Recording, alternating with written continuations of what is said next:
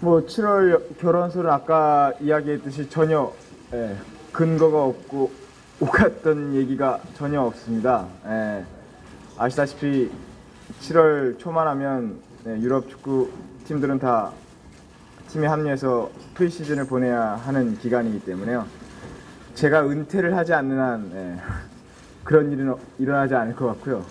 뭐 일단 그런 계획이 전혀 없는 상태입니다. 뭐 아직까지 결혼에 대해서 이야기가 오고 간 것이 전혀 없기 때문에 뭐 하지만 좋은 만남을 계속 갖게 되면 뭐 당연히 적지 않은 나이인 만큼 충분히 생각을 해봐야 될 거고 또 신중하게 결정을 해야 될 거라고 생각을 합니다.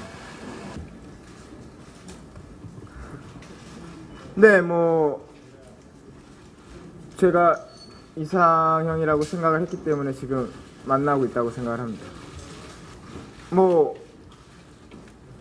많은 분들에게 어떻게 보일지는 모르겠지만 뭐 제 눈에는 가장 에, 사랑스러운 여자인 부분이 에, 장점이라고 생각을 합니다.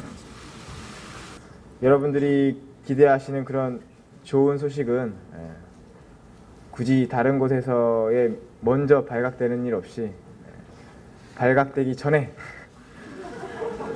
꼭 발표할 수 있는 날을 기다리고 예, 꼭 그렇게 하게끔 할 테니 예, 그 전에 미리 성급하게 언제 결혼한다라는 그런 보도는 예, 없으시길 희망하고요. 예, 아무리 특종이 좋아도 예, 사람 하나 살려주십시오. 앞으로는 예, 운동장에서 예, 마지막을 언제 어떻게 마무리하게 될지는 모르겠지만 제 본연의 임무인 축구 선수로서의 어, 그런 좋은 모습들을 어, 여러분들에게 보여드리기 위해서 최선을 다하고 또 많은 노력을 할 테니까요. 앞으로도 에, 축구 선수로서의 박지성을 에, 많이 응원해 주셨으면 좋겠습니다. 아, 오늘 많이 와주셔서 정말 감사드립니다.